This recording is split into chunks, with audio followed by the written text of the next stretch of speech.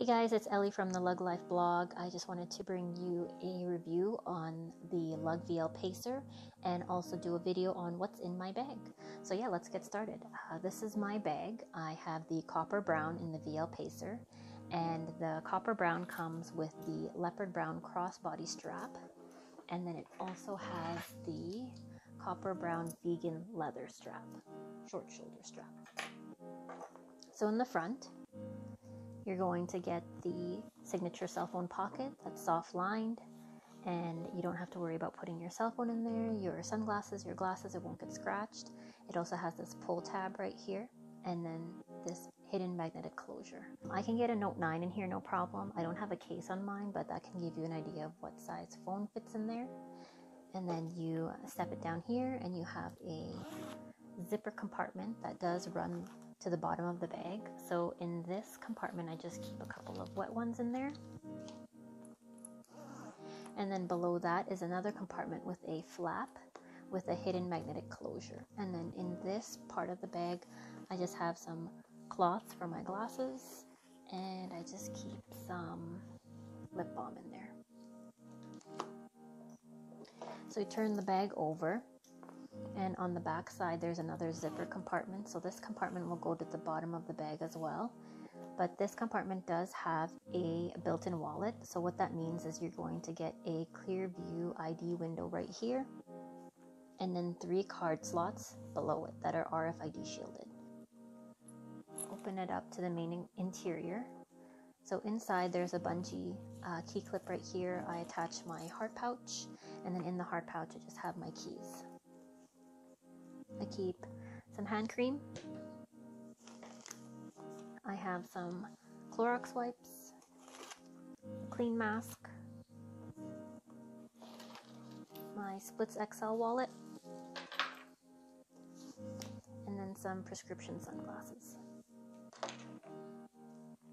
So that's about it that I put in that main interior of the bag, not counting the wall organization.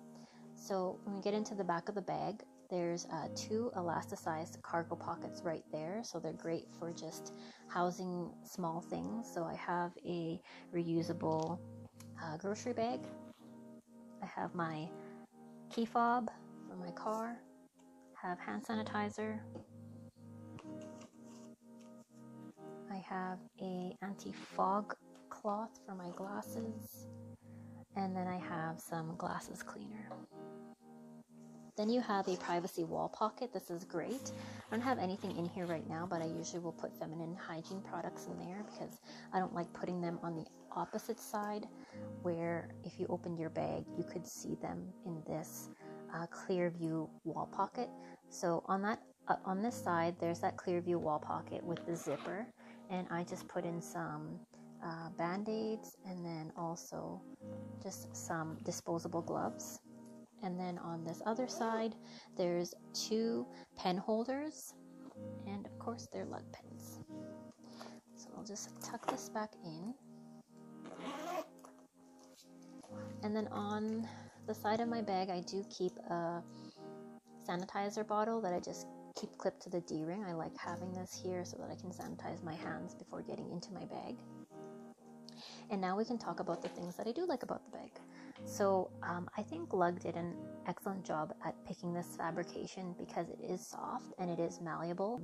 Even the look of the pebbled leather looks and feels like leather. And I think that's probably why I was drawn to the copper brown because I did want something that did make the bag seem like it looked more like leather. The other thing that I liked was the stud detailing. I, I actually didn't have the Pacer or the Pacer 2 in the regular polyester fabrication. It just wasn't my jam, so I wasn't drawn to it. But after buying this, I actually found a deal on Amazon and bought a uh, Pacer 2 in the polyester fabrication, but it came, I didn't like it, I sent it back. So, with that being said, that's why I like the stud detailing, I think, with this leather look because I see stud detailing on leather bags, on leather jackets on leather boots, and I think that's why I like this uh, detailing way more with the leather look. The other thing I like uh, that Lug has done with the bag is change their logo. So it uses this cursive script uh, lug logoing versus their regular logoing like this, where it just says lug in regular print and it's like thick and kind of bubbly looking. So I like how it looks on this VL Pacer. Some of the things that I do really like if we're just comparing vegan leather bags to other vegan leather bags is the organization. You're not going to get the same organization in other vegan leather bags even down to the elasticized rims on these cargo pockets. In other bags, you're going to have full leather trim, and then that kind of limits you to the pull or how much you can fit. And then on the back side, you know, how Lug gives you a built in wallet that has RFID protection. So, going on to now what I had concerns about the bag was uh, when this first came, this is actually my second VL Pacer because the first one that came was defective. So, uh, one of the problems that it had was the stitching on the side here. So, where you can see the stitching when it came, under every stitch loop, the polyurethane had pulled and started peeling. So, almost everywhere around the bag was uh, nothing but white. I could see white peeling from where this polyurethane had been uh, glued to, you could see that white material underneath. The other thing was the stitch quality between these two pieces right here uh, wasn't that great in the first bag that came. So it wasn't as clean, but it still isn't as clean in the second bag. So there's still parts like right here where this opens up and then you can see the white of the fabric underneath I, I don't think I would have minded this so much if that part was actually brown, but because it's so visibly white, if this opened up just from weather or being humid, I don't know if this will curl, that would be a problem.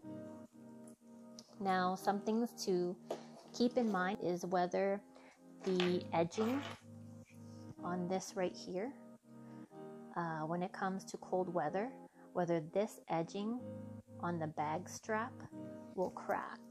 And I say that because uh, one of the reasons that I had moved over from full leather or leather bags to lug was because the bags didn't last and they never lasted in cold weather. So I grew up in a city that had super hot summers and super cold winters. And when it came to winter, the edging on a bag or a bag strap like this would just crack. Once it hit about minus, I'd say anywhere from minus 25 to minus 40, it would crack. If you commute and went, you know, took the bus, took the train, took the subway, and you had to walk for a bit in anywhere from minus 25 to minus 40, yeah, you'd have to see whether or not that would crack.